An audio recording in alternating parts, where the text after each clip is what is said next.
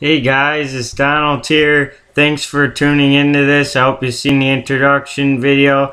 So this video I'm going to be reviewing the Beatles Anthology 1. Um, yeah, I happen to have two copies of the CD because I got each CD really cheap and I just felt like buying this for some reason.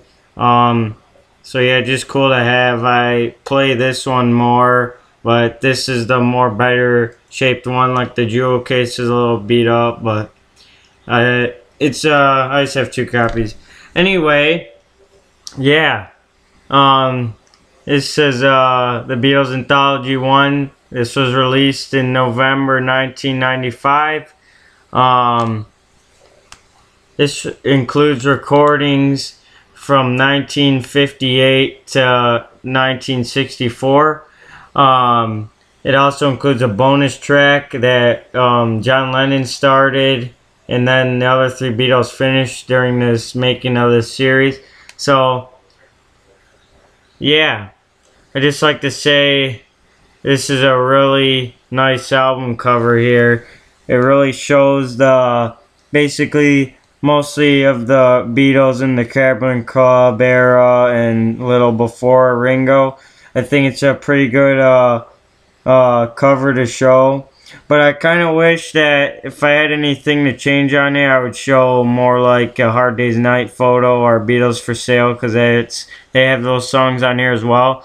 And I kind of wish that the album itself too had songs from the Cavern Club and some from Hamburg, Germany, like some like those uh, rare ones, or just the um, with Pete Best. Um, but it's still pretty good uh, uh, presentation here. All right, so the album, I'll do review some of the tracks. This one starts with uh, Free as a Bird, which is uh, kind of uh, the one that John Lennon started and the other three Beatles finished. It was about the 70s John Lennon started.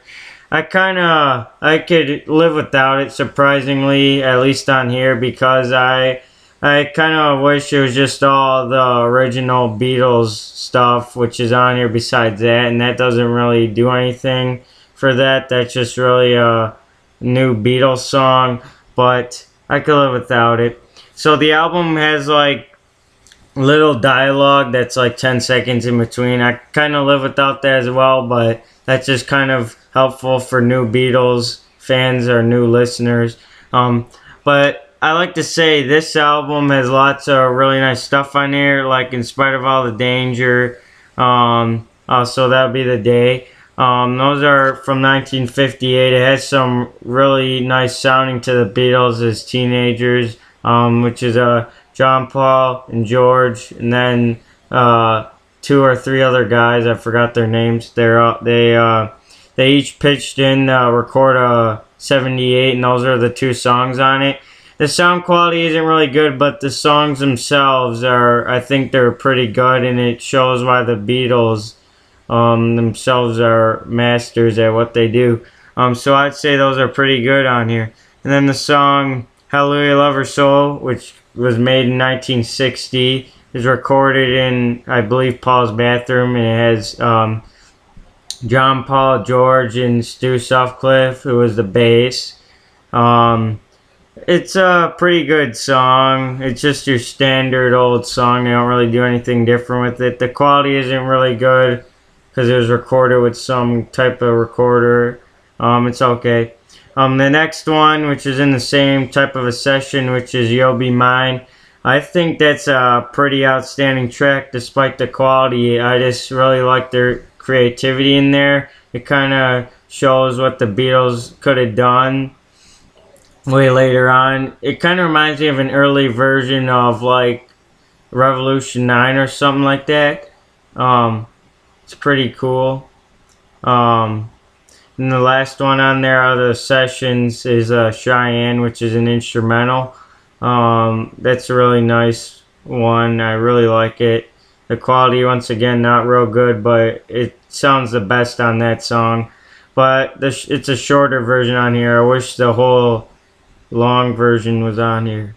Um, then it has some of the Tony Sheridan recordings, My Bonnie, which has Tony Sheridan lead singing. That's an outstanding song. I really like the jamming on there.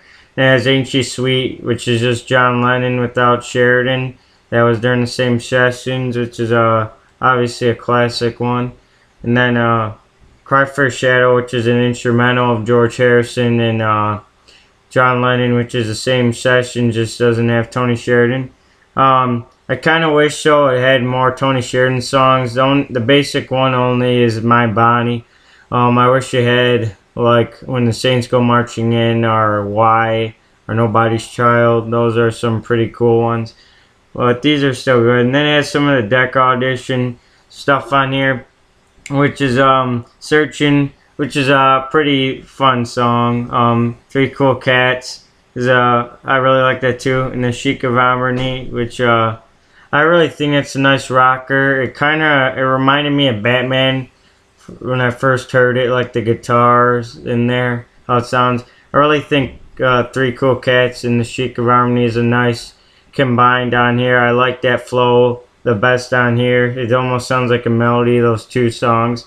Um, as like Dreamers Do, which is uh, Lennon McCartney, I believe. And that's a really nice one from the Decca audition. I wish they, the Beatles re-recorded it later on. Then it has um, Hello Little Girl, which is uh, another original, I think. That's a really nice song. It kind of shows what the Beatles were going to start turning into um, when they became famous.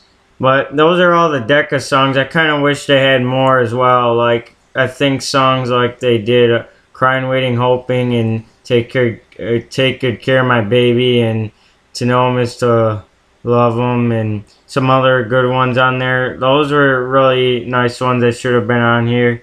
Um, then there's a song Besame Mucho. I don't even know when that was recorded. It was in between the Decca audition and when Ringo was joining. So I, I think it's Pete Best on drums. And it has a Pete Best version of Love Me Do, and it has How Do You Do It, which I believe Pete Best is on drums there too. And it has finally a Ringo song on here which is like the earliest version, I believe, of Please Please Me. I think it's a really nice version. Not as good as the official one, but still pretty good. It has one after 909, which you probably heard from Let It Be, which is on here. It has the one with full starts, and then it has the full recording.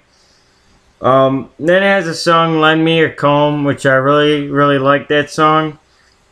I think it's uh, I really like just their uh, their singing on there and Ringo's drumming techniques on there, and I like the bass on there too. And then it has uh, I'll Get You, which I don't really care for. The drums are not really eligible on here, so I could live without that. And um, this is probably the highlight of the whole album or disc one.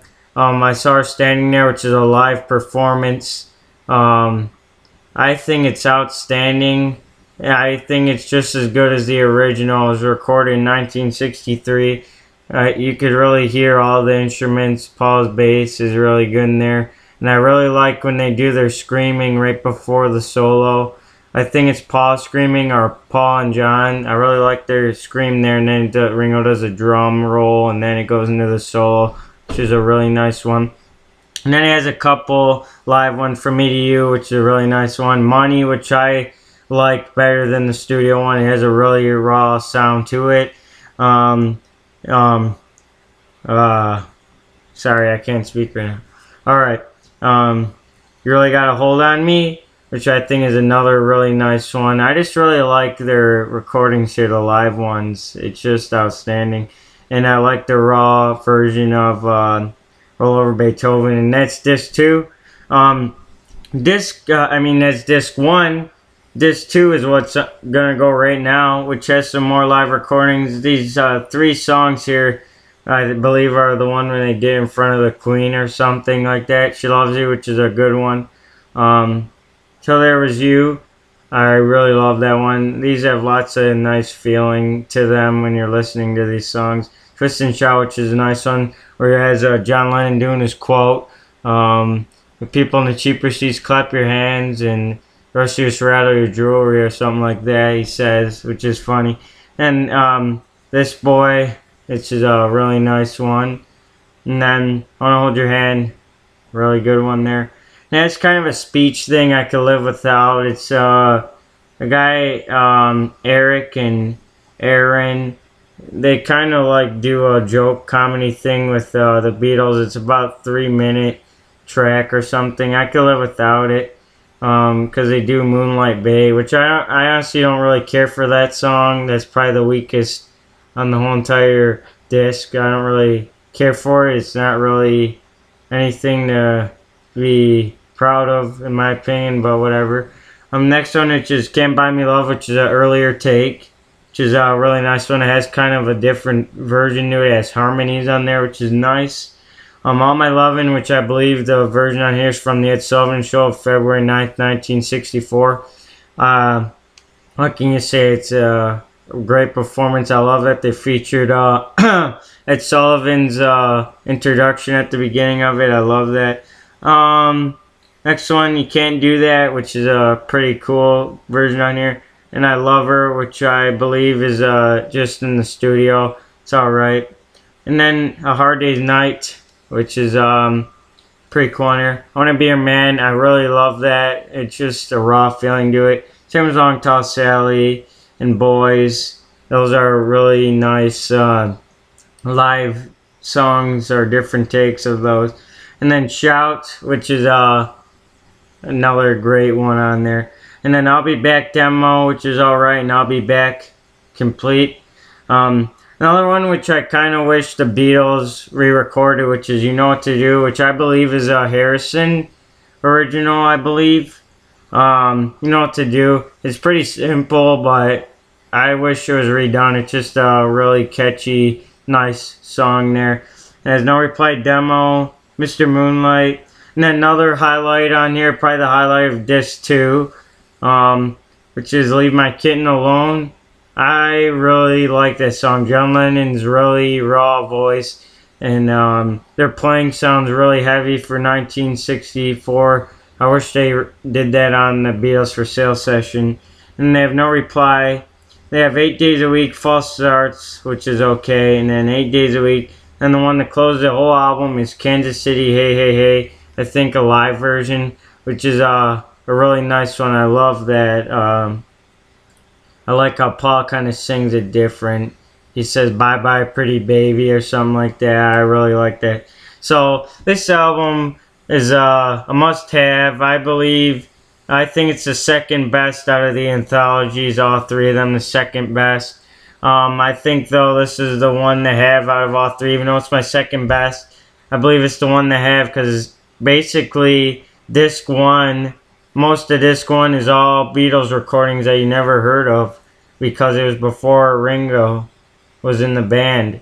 Um, and um, it has some lots of uh, great live recordings on here. And I think any Beatles fan, even if you don't like this era of the Beatles, you should get it because it really shows that they were still a pretty hard rocking band. And I think and the people that say, which I don't understand why, the people that say the early Beatles are a boy band, I don't understand. Should really hear this because this proves that they weren't a boy band, especially before Ringo came. Um, so this album is great. Um, what I could add on here, like I said at the beginning, I wish you had like Cavern Club recordings, or also I wish they had the song called Catwalk or something like that, which was something done in Hamburg, I think, with Pete Best. Um, so that's basically all I gotta say. I don't really think any of the songs should be taken off. Maybe I'll Get You because it's okay, and maybe Free as a Bird because it's not really an original song on here. It's just the new Beatles song. So this album I give a 5 out of 5. Great album, and I totally recommend it. So anyway, that's my review, and stay tuned for the second one. Thanks for watching. Bye.